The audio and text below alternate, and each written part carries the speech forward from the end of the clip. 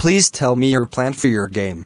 My goal is to use the technology that is available to me to go beyond time. I know it's possible.